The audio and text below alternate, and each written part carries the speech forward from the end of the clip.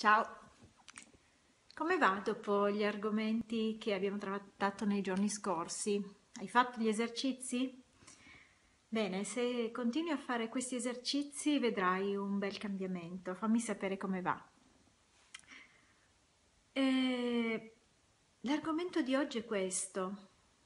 Molte persone mi chiedono come faccio a svegliarmi al mattino con quella spinta e quell'entusiasmo che mi fa sentire veramente felice di alzarmi, che mi fa sentire felice di iniziare le attività della giornata, felice di vivere. Beh, quello che è fondamentale è che tu abbia un motivo per alzarti al mattino. Un motivo può essere un obiettivo per la giornata, può essere un obiettivo a medio-lungo termine per la tua esistenza, quindi il fatto di mm, provare motivazione è proprio questo, avere un motivo per essere mm, spinti, no? avere una spinta interiore che ti porta ad agire e a metterti in moto, che ti fa superare quell'inerzia tipica dell'essere umano che generalmente è un po' comodino, no? nel senso che comunque una parte di, pigre- di pigrizia e di comodità fa proprio parte dell'essere umano. Questo lo puoi sperimentare quando al mattino magari hai voglia di poltrire un po', piuttosto che fare qualcosa di nuovo, di diverso, potrebbe essere eh, qualcosa che ti crea una resistenza, piuttosto che fare cose troppo impegnative a un qualsiasi livello, sia impegnativo per te, per qualcuno potrebbe essere fisico, per qualcun altro potrebbe essere un qualcosa di mentalmente troppo impegnativo, oppure impiegare troppo tempo in una certa attività. Quindi la motivazione. Beh, col fatto che mi occupo della della missione di vita, di aiutare le persone a trovare la propria missione di vita. Quello diciamo che è una bella spinta motivazionale, perché nel momento in cui tu sai il motivo per cui sei sceso qui, quali sono i tuoi compiti, come ho già detto in, in qualche video, ho scoperto che non tutti abbiamo una missione di vita con la M maiuscola. Tutti nasciamo con uno scopo, ossia tutti abbiamo uno scopo importante no? per la nostra esistenza ed evoluzione, per l'esistenza e evoluzione della nostra anima e del tutto, perché noi siamo connessi ad un tutto più grande. Quindi eh, tutti noi abbiamo delle sfide, delle situazioni in cui abbiamo l'opportunità di crescere, di migliorare, di evolverci. Non tutti hanno una missione di vita, che è quella proprio connessa all'aiuto rivolto al prossimo. Mm, ci terrei a farti notare che non esiste un,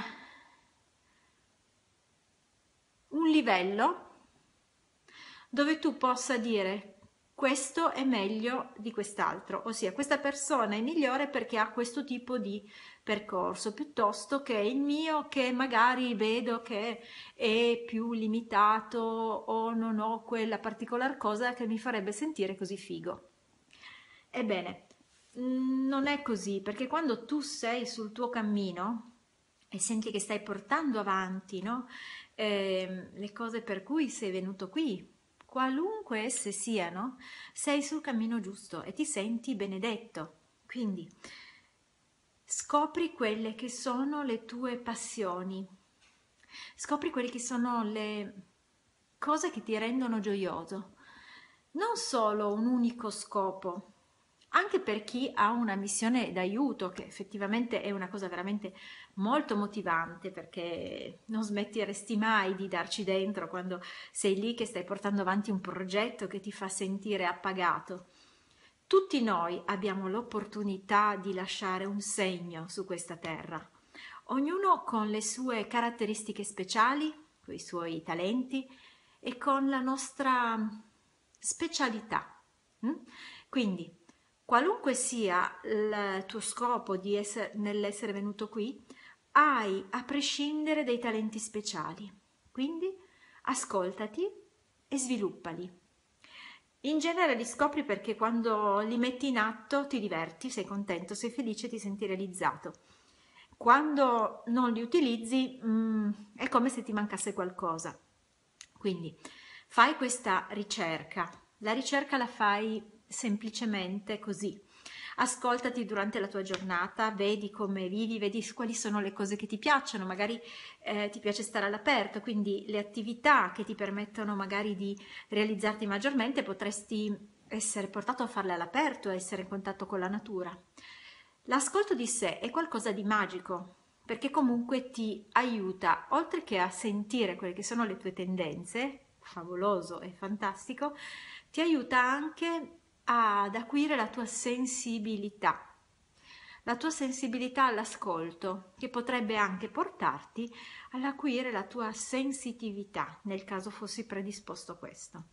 Quindi ascoltati e comincia a tirare giù, tirare giù per iscritto proprio, alcune delle cose che noti e vedrai che mettendo insieme i vari elementi, se desidererai fare qualcosa che ti renderà le tue giornate più belle, più magiche, utilizzando gli elementi che vengono fuori da questa tua indagine, ehm, vedrai che troverai sicuramente delle attività che ti fanno sentire bene, che ti fanno sentire realizzato. Potrebbero anche essere delle esperienze che tu non hai mai fatto, quindi potrebbero portarti a fare delle nuove esperienze. Quindi questa è un'ottima cosa perché questo già solo ti porta a crescere. Quindi fai questo bel lavoro. Mm e poi, se dovessi essere una delle persone che effettivamente ha proprio una missione di aiuto nei confronti del prossimo, tra queste caratteristiche potrai avere segnato l'empatia, potrai aver segnato il sentirti magari responsabile per gli altri piuttosto che il sentire il piacere, il desiderio di aiutare il prossimo in qualunque modo.